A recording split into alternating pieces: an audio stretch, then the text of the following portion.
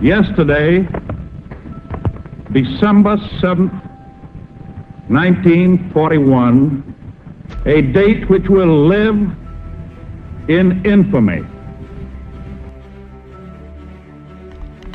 The United States of America was suddenly and deliberately attacked by naval and air forces of the Empire of Japan.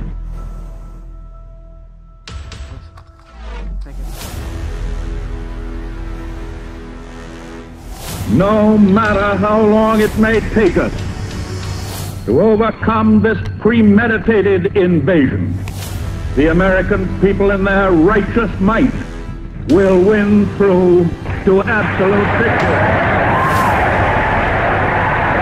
With confidence in our armed forces, with the unbounding determination of our people, we will gain the inevitable triumph, so help us God.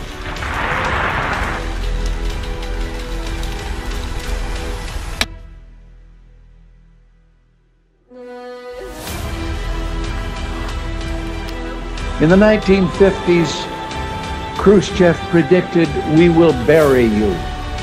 But in the West today, we see a free world that has achieved a level of prosperity and well-being unprecedented in all human history. In the communist world, we see failure.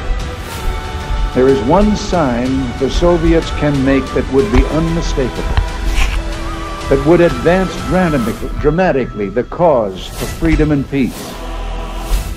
General Secretary Gorbachev, tear down this wall.